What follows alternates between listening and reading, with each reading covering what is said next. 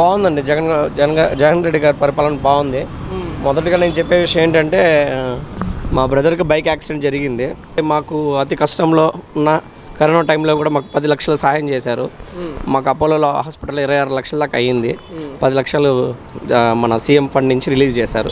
ఆయనకి చాలా ధన్యవాదాలు చెప్తున్నాం. మా కుటుంబ తరపున అంటే మీరు చంద్రబాబు గారి పరిపాలన కూడా చూశారు. చంద్రబాబు పరిపాలన చూశాను. మాది తేడా ఏంటి? ఏమనిపించింది తేడా అనేది అనేది తెలుసు ప్రజలకు తెలుసు. అది ఆల్- ఆల్రెడీ అన్- అన్ని అన్ని పథకాలు ఇచ్చారు జగన్మోహన్ రెడ్డి గారు.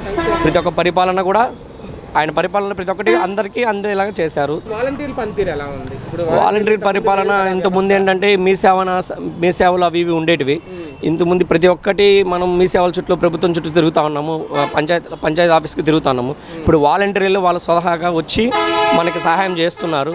ఈ ప్రతి ఒక్కటి ఉదాహరణకు కానీ ఎగ్జాంపుల్ చూసారంటే ఈ మన పింఛన్ విషయంలో కానీ చిన్నపిల్లల స్కూల్ విషయంలో కానీ ప్రతి ఒక్కటి బాగా చేస్తున్నారు. అది కాకుండా చిన్నపిల్లలకి స్కూల్స్ స్కూ- స్కూల్స్లో వచ్చి ఎగ్స్ అవన్నీ కూడా ఇస్తున్నారు. ఇంతకుముందు కూడా అందుతున్నాయి కానీ ఇప్పుడు ఇంకా ఎక్కువ ఇస్తున్నారు. దానికి మేము జగన్ జగన్మోహన్ రెడ్డికి హృదయపూర్వక ధన్యవాదాలు తెలుపుతున్నాం. నాకైతే అందింది నా అందింది. బాగానే ఉంది నా నాకు తెలిసినంత వరకు బాగానే ఉంది.